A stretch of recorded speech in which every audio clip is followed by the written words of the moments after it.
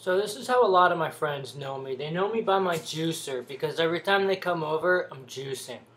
And I'm always talking to them about juicing and the great benefits and the things that um, juicing has really added to my life. And I just want to share a quick video with you guys, just a few tips on juicing.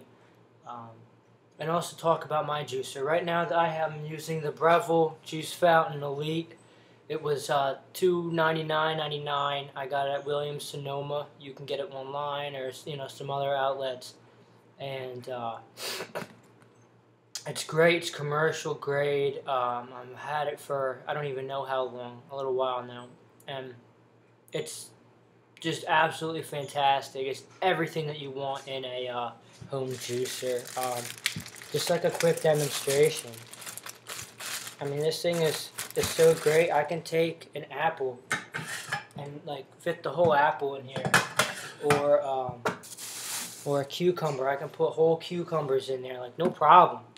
And um, just uh, a couple quick tips. One, I put a bag here so that I can uh, I don't have to clean out the the container where all the pulp it gets uh, gets placed.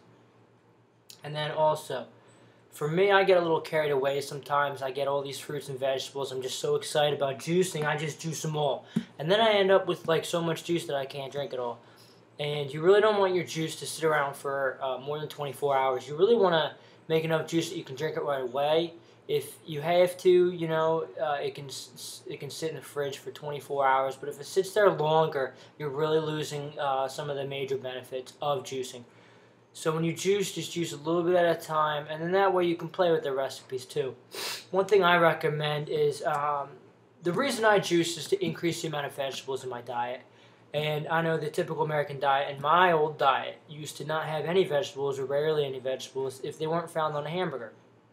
So a lot of the vegetables I have now, I mean, I eat so many vegetables and uh, even some vegetables you never even heard of, like red kale, and uh, I've had I have ginger root, I've had lemongrass, um, parsley, basil, cilantro. I mean anything you can think of, cucumber in there.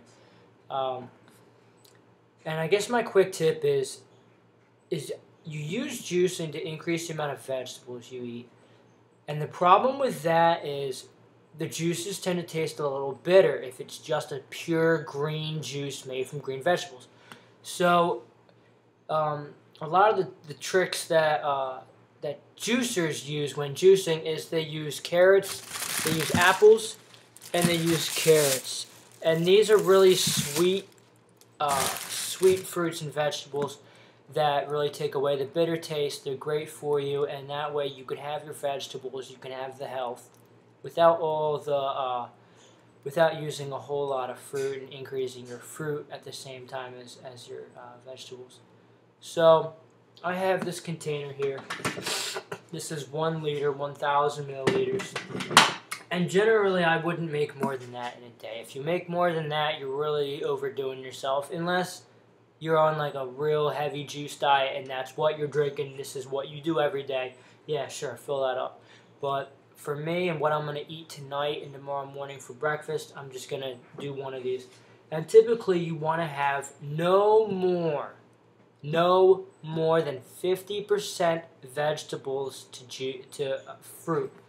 So when you're juicing, you really want to have 400, maybe 500 milliliters maximum um, or else the bitter taste is really going to turn you off to juicing. And then that's not what I want to encourage. I want to encourage everyone to juice, eat more fruits, eat more vegetables. So when you're juicing, do a 50-50 ratio, and you'll be okay. Um, that's all I really have to say right now. And uh, hopefully I can help motivate you guys to drink more juices, more fruits, more vegetables, and enjoy it at the same time. So thanks for watching, guys.